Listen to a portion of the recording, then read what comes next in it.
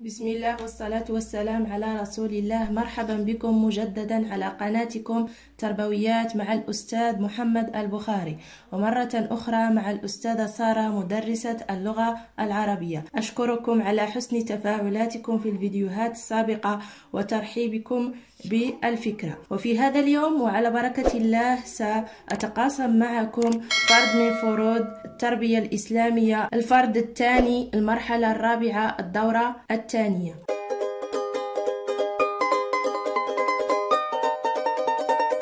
على بركة الله وضعية الانطلاق لدينا ذهبت مبكرا لصلاة العشاء في المسجد في إحدى ليالي رمضان المبارك فوجدت الإمام يقدم درسا حول الفرق بين أركان الإسلام وأركان الإيمان وبعدها صليتم العشاء جماعة فقرأ الإمام جزءا من سورة المرسلات في الركعة الأولى وجزءا من سورة القلم في الركعة الثانية إذا كما تلاحظون فوضعية الانطلاق نضع المتعلم في المشكل يعني لكي يسهل عليه التفاعل مع الوضعية. إذا حينما نقول ذهبت يعني أنت أيها المتعلم فوجدت يعني أنت أيها المتعلم أو المتعلمة. انطلاقا من نص الوضعية ومن خلال ما درسته في مكونات مادة التربية الإسلامية أجيب عن ما يلي. أولا أتمم كتابة الآيات الكريمة. تنقيط على اثنان بالنسبة للآية لكن بالتنقيط الكامل للامتحان على عشرة. قال الله تعالى بسم الله الرحمن الرحيم نون والقلم وما يسطرون. إلى ولا تطع كل حلاف مهين. سورة القلم. على بركة الله أعوذ بالله من الشيطان الرجيم. بسم الله الرحمن الرحيم نون والقلم وما يسطرون. آية واحد. ما أنت بنعمة ربك بمجنون؟ آية اثنان. وإن لك لأجرا غير ممنون. آية ثلاثة. وإنك لعلى خلق عظيم. وإنك لعلى خلق عظيم. الآية أربعة. فستبصر ويبصرون. فستبصر ويبصرون. الآية خمسة. بأيكم المفتون؟ بأيكم المفتون. آية ستة. إن ربك هو أعلم بمن ضل عن سبيله. وهو أعلم بالمهتدين.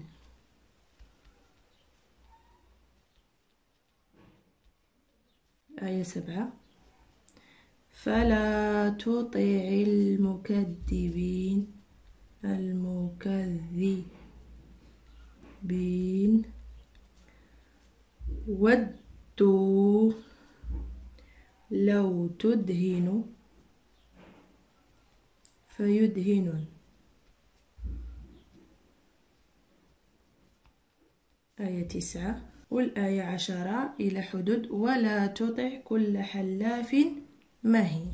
واضح؟ إذا كما تلاحظون على حسب خط المتعلمين يكون شيئا ما كبيرا لذلك أترك, أترك الفراغ الكافي. نعيد القراءة من البداية. أعوذ بالله من الشيطان الرجيم. بسم الله الرحمن الرحيم. نون. والقلم وما يسطرون. ما أنت بنعمة ربك بمجنون. وإن لك لأجرا غير ممنون. وإنك لعلى خلق عظيم. فستبصر ويبصرون. بأيكم المفتون. إن ربك هو أعلم بمن ضل عن سبيله وهو أعلم بالمهتدين. فلا تطع المكذبين. ودوا لو تدهن فيدهنون. ولا تطع كل حلاف مهين. صدق الله العظيم. ننتقل إلى سؤال اثنان وهو لون بنفس اللون العبارة ومعناها مذموم الصريم سفيهنا الرماد الأسود إبليس ثم ملوم مطرود. العبارة الأولى سنلون باللون البنفسجي مذموم. معناها هو ملوم مطرود. ملوم مطرود. كي لا نطيل في الفيديو فقط ألون العبارات أو المعاني. ثم الصريم معناها هو الرماد الأسود. إذا هو البستان ديال أصحاب الجنة. أصبح كالصريم يعني أصبح رمادا أسودا حينما قرروا ألا يعطوا الفقراء حقهم من بعد موت أبيهم. ثم سفيهنا فمعناها هو إبليس والعياذ بالله منه. السؤال الثالث هو صل بخط بين العبارة والقاعدة التجويدية التي تنطبق عليها. مشاء آمنا يستطيعون. ثم في القاعدة التجويدية لدينا تفخيم حروف الاستعلاء المد المتصل والمد البدل. إذا يجب أن نتعرف كل قاعدة تجويدية على حدة. فتفخيم حروف الاستعلاء يجب أن تضبط حروف الاستعلاء. وهي الخاء والصاد والضاد والغاء والطاء والغين والقاف والظاء إذا كما تلاحظون في العبارة الثالثة لدينا الطاء والطاء قلنا من حروف الاستعلاء فنقرأها يستطيعون. إذا فالقاعدة هنا هي تفخيم الراء. المد المتصل ما معناه؟ وهو الذي اتصل فيه حرف المد بالهمزة في كلمة واحدة ومقداره ست حركات يعني مقدار المد ست حركات. لاحظوا معي هاي هنا لدينا حرف المد اتصل به الهمزة مباشرة في نفس الكلمة. مشاء. ست حركات المقدار ديالو ست حركات. أعيد. مشاء.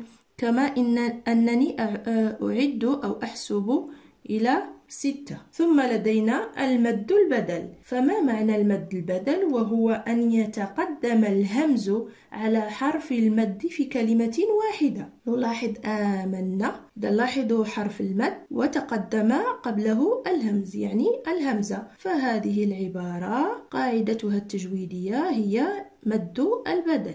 واضح؟ وبعد ذلك ننتقل إلى السؤال الموالي وهو سؤال أربعة. قم بملء الجدول الآتي بأركان الإسلام والإيمان. يعني لدينا أركان الإيمان وأركان الإسلام. إذا هذا السؤال لم يكن اعتباطيا بل كان مذكورا في الوضعية كما قرأتها معكم. فأركان الإيمان ستة وأركان الإسلام هي خمسة. أذكرها بالتتالي. أركان الإيمان. إذا ما معنى الإيمان أولا؟ هو التصديق القلبي الجازم يعني من القلب أن يكون التصديق جازما يعني لا شك فيه أبدا. بماذا سأؤمن بالله وملائكته وكتبه ورسله وباليوم الآخر وبالقضاء خيره وشره؟ بالقضاء والقدر خيره وشره. إذا فأركان الإيمان هي ستة. أؤمن بالله أؤمن بالله ملائكته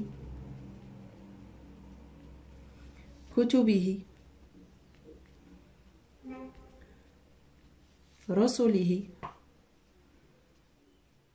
باليوم الآخر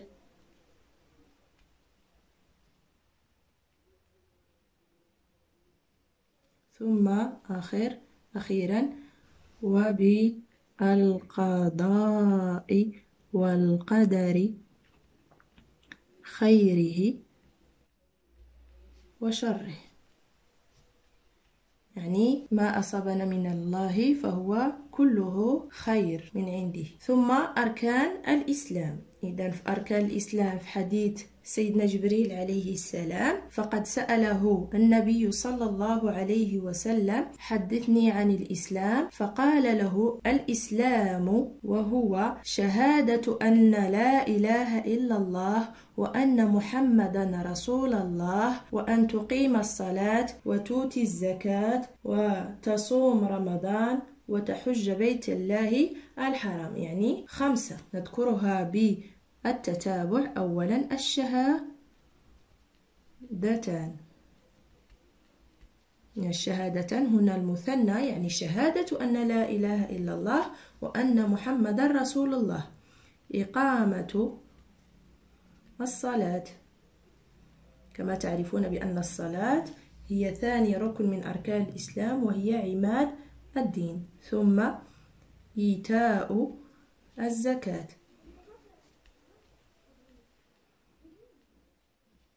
ثم صوم رمضان. صوم رمضان. وفي الأخير حج بيت الله. من استطاع إليه سبيل حج البيت.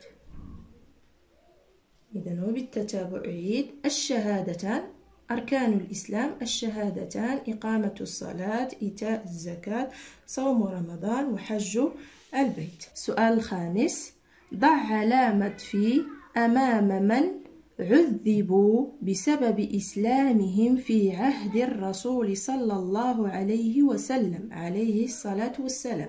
الاختيارات لدينا عمار بن ياسر عمر بن الخطاب رضي الله عنه ثم ياسر أبو عمار. إذا هنا هو الدرس آه، ديال قصة ابتلاء آل ياسر. فهذه القصة سأرويها لكم. وكان بنو مخزوم يخرجون بعمار بن ياسر وأبيه وأمه. إذا كانوا يخرجونهم لأنهم أهل بيت الإسلام. وكانوا أهل بيت الإسلام.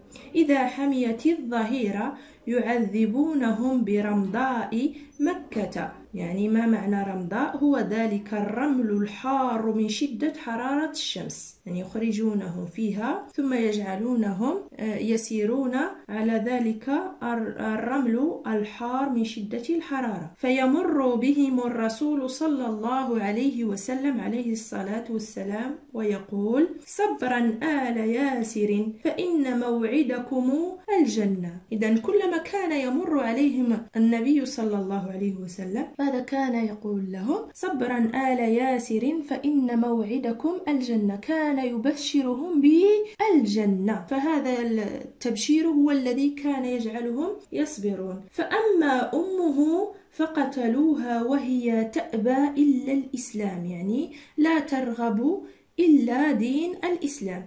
حيث طعنها أبو جهل وبذلك كانت أول شهيدة في الإسلام. فأم آه، عمار ماتت طعنها أبو جهل وكانت أول شهيدة. أبو جهل هو عم الرسول عليه الصلاة والسلام. إذا فالجواب هنا من عذبوا بسبب إسلامهم. أولا هو عمار بن ياسر ثم ياسر أبو عمار. وأم عمار هنا غير مذكورة. سؤال موالي ضع سطرا تحت سنن الصيام مما يلي. الاختيارات لدينا. تأخير السحور تعجيل الفطور الإكثار من ذكر الله ثم الاشتغال بالعلم وبعد ذلك الدعاء عند الإفطار. فكما تعرفون السنن هو ما يثاب على فعله ولا يعاقب على تركه. أما الفريضة يعني مثل الفرائض مثل الصيام أو الصلاة وهو يثاب على فعلها ويعاقب على تركها بلا عذر أعيد. أن يجب أن تعرفوا ما معنى الفرق بين السنة والفريضة. يعني من فعل السنن يثاب على فعلها ولا يعاقب على تركها. بينما الفرائض من فعلها يثاب ومن تركها بلا عذر يعاقب. واضح؟ إذا فمن سنن الصوم لدينا أولا تعجيل الفطور ثانيا تأخير السحور ثالثا الإفطار على وتر من تمر أو ماء وتر يعني على عدد فردي رابعا الاعتكاف في المسجد خلال العشر الأواخر من رمضان. أربعة سنن. فالاختيارات قد قرأناها. إذا لدينا تأخير السحور فهو من السنن كما ذكرتها قبل قليل. تعجيل الفطور أيضا فهو من السنن. الإكثار من ذكر الله تعالى ليس من السنن. الاشتغال بالعلم ليس من السنن. والأخيرا الدعاء عند الإفطار هو كذلك يعني من السنن. وما معنى السحور؟ هو الأكل والشرب في وقت السحر يعني آخر الليل يسمى ذلك الوقت السحر. لذلك نقول تأخير السحور يعني تأخير الأكل في آخر الليل. سابعا لدينا صل بخط بما يناسب من مظاهر حلم الرسول صلى الله عليه وسلم عليه الصلاة والسلام يوم فتح مكة. لدينا ثلاث اختيارات. تجاوز عن أذى المشركين تجاوزه يعني هنا فقط خطأ في الكتابة. تجاوزه عن أذى المشركين عفوه عنهم جعلهم عبيدا للمسلمين جعلهم عبيد المسلمين. إذا فالاختيار الأول صحيح تجاوزه عن المش... تجاوزه صلى الله عليه وسلم عن المشركين وعفوه صلى الله عليه وسلم عنهم. أما جعلهم عبيدا للمسلمين فهو اقتراح خاطئ. وآخر وضعية أيضا سؤال 8 حدثكم يعني أنتم أيها المتعلمون حدثكم أبوكم عن على مائدة الغذاء عن مشاهدته احتراق متجر بالسوق. كان صاحبه لا يرحم المساكين ولا يؤذي ولا يؤدي الزكاة. فتذكرت قصة مشابهة مذكورة في القرآن الكريم. سؤال ألف. يعني 8 ألف. ما هي القصة التي تذكرتها عند سماعك لما رواه لكم والدك؟ القصة طبعا هي قصة أصحاب الجنة قصة التي وردت في سورة القلم. قصة الجواب هو قصة أصحاب الجنة. أو نقول أصحاب البستان. أصحاب البستان. وإليكم القصة أي أن رجلا كان له بستان يرعاه وفي نهاية جني المحصول كان يؤدي الزكاة إلى الفقراء والمساكين يعني إلى أصحابها. فلما مات هذا الرجل تركه يعني ترك البستان لأولاده ف قرروا في قرارة أنفسهم يعني قرروا في أنفسهم أن لا يعطوا للفقراء حقهم يعني أبوا عن أداء الزكاة في البستان في السنة لأنهم اغتروا بالنعمة التي أعطاهم الله سبحانه وتعالى. فماذا وقع؟ أي أن الله سبحانه وتعالى سلط عليها الحريق فطاف عليها طائف من ربك وهم نائمون فأصبحت كالصريم. اللي كان خصنا نشرحوا المعنى ديالو في السؤال الثاني الصريم معناه هو الرماد الأسود. إذا ثم ندموا أصحاب آه، البستان. واستغفروا الله سبحانه وتعالى وغفر لهم وكانت الحكمة من هذه القصة أي أن الله سبحانه وتعالى الذي أعطانا النعمة في هذه الدنيا الفانية قادر على سلبها منا عاجلا وليس آجلا حتى يوم القيامة بل عاجلا. سؤال باء ما هي الآية الكريمة التي تتحدث عنهم؟ يعني عنهم يعني عن المساكين الذين قرروا أن لا يعطونهم حقهم في الزكاة من البستان. قال الله تعالى قال الله تعالى. يعني يجب أن نستخرج الآية من صورة القلم. أن لا يدخلنها اليوم عليكم مسكين.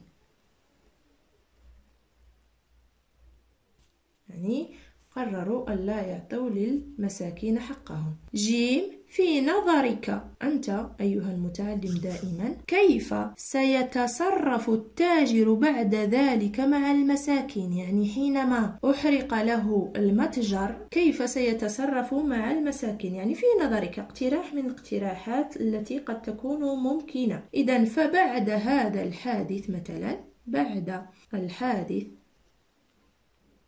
يعني حادث احتراق المتجر سيشرع